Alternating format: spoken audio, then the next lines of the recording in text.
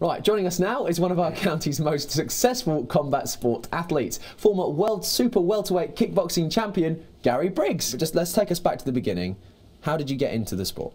Uh, we got well, I got into it through an advert in the paper. Really, I was going back. Well, um, when I was about 25, I got into sport late.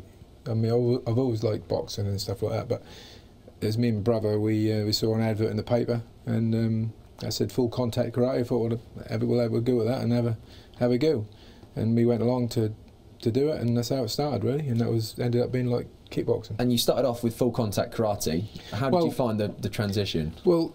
I, I, did a bit of karate uh, and like taekwondo stuff, just just like messing around when I was younger, nothing serious. But then obviously when I got into the kickboxing, I realised what it was, and and just sort of got the bug really, and went from there, and that's just how it went. Well, you say you realised what it was for us who don't know anything about it, what is it? Well, well, basically everyone know what it is now. I suppose is involved with the sport, but in the in in the uh, earlier days, obviously the the, the the story was was a load of sailors went over to Thailand and and uh, challenged these Thai boy, Thai guys, and uh, basically um, that was that was that was called Thai boxing then and then obviously the Americans got hold of it and um, sort of watered it down a bit, cut away the knees, and then used the legs, and they called it full contact kickboxing. And that is the almost the essence of, of kickboxing, isn't it? There's so many different rule formats. Yeah, so leg kicks, types. Um, and obviously with the Thai boxing, you you got your, your throws, knees, elbows, different sport altogether. Um, uh, you got your kickboxing low kicks, and you got um, kicks above the waist. And you were kicks above the waist, is that right? To start with, I was low kicks, but then I, I liked I didn't I couldn't walk very much after fights, so I decided to go go away for the kicks above the waist, and that suited me better. I think that's probably the safest option, isn't it? But did, did you find it difficult to pick up when you were doing it? Um, I, I, did, but I, I enjoyed it, and, and, that's something I like to do, and and I just went into it really uh, as just a just just a hobby really. And I, I, didn't, you know, once once I had my first fight, I got the bug. I lost my first fight, but I was well overmatched against someone who was like had quite a few fights. So I found out afterwards, but didn't put me off like it would with most people. I'd worked on stuff which I needed to, and went from there. And I won my second fight in a knockout, and just got the bug for it, and then went on from there. So how do you develop your career from there? What's is there some sort of definite and defined structure? Um, well, I didn't go into it as a career. I just went into it as a hobby, mm. and then basically for five years uh, I was doing amateur fights, three rounds. Going, you know, we were, I was getting picked up from work at 5:30. We were going all the way to Barnsley and doing a show. I was, get, I, I sat in the dressing room one day. I was at one o'clock in the morning. I was the last on the bill on a, on the Holland and England uh, match, which they chose me to represent England. I was the last fighter on, and I was sitting there thinking, what am I doing this for? at one o'clock in the morning, uh, and basically um, sitting there thinking, I'm going to be fighting the ex-European kickboxing champion here.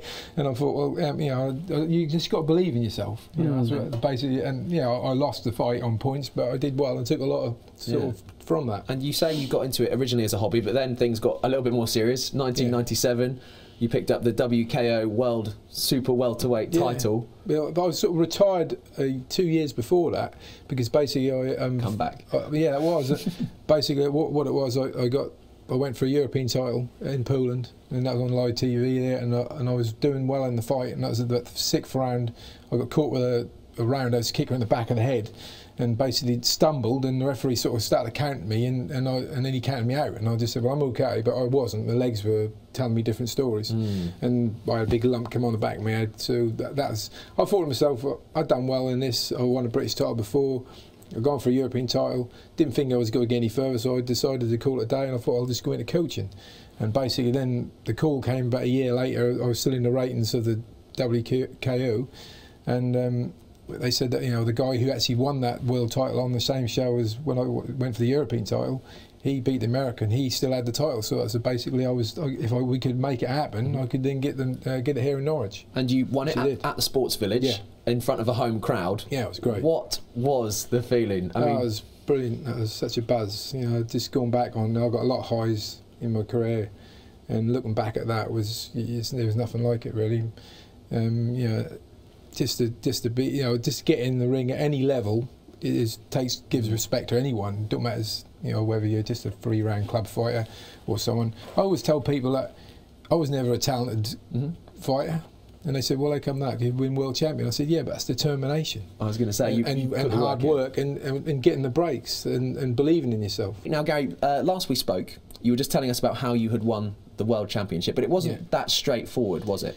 No, well, basically, uh, the, when I, I'd seen this guy fight in Poland when I fought for the European title, he beat the American, so I knew he was quite an aggressive fighter and he was a come forward fighter. So I knew what to expect. And um, basically, he weighed in a little bit over the weight, so we had to like trim a bit of weight off. I came in like two kilo under, so I was at less weight than him anyway.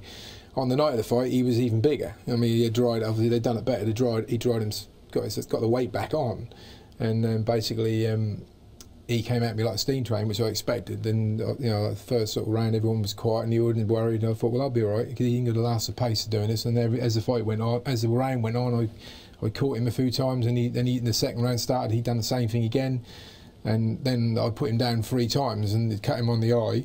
And so I sort of knew like, I'd had him then, but then he started doing the foul and like catching me low, kicking me, and uh, and, and he threw me on the floor, got me in a headlock and threw me on the floor. I thought, well, sis, this isn't rugby or you know judo, and uh, so he got points taken off. And then sort of cut a long story short, coming to the sixth round, he, I caught him with a spinning back fist, and he got hold of me and threw me on the floor again, and I dislocated the shoulder. But basically, they called the fight, they disqualified him.